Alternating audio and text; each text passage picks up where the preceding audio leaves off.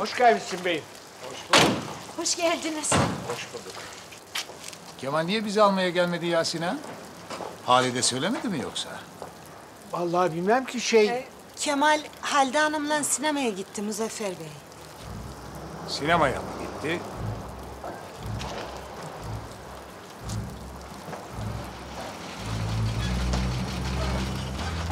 Abi.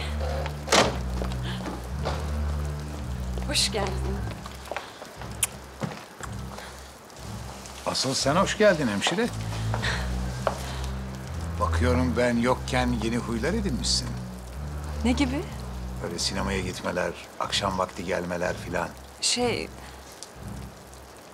Hem sen nereden öğrendin benim sinemaya gittiğimi? Benim her yerde kulağım vardır hemşire. Böyle neşeli haline bakılırsa bayağı eğlenmişsiniz Kemal'de ha? Aşk olsun abi. Abi. 40 yılın başında biraz olsun benim de eğlenmeye hakkım yok mu? Kemal bize göz kulak olmak için gelmişti sadece. Yanımızda Neriman da vardı ayrıca. Tamam canım. Bir şey demedik zaten. Neyse. Hadi bakalım. Alın valizleri yukarı.